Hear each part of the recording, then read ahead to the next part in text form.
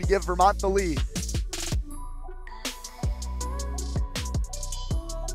Noah Egan puts it home. Vermont in front.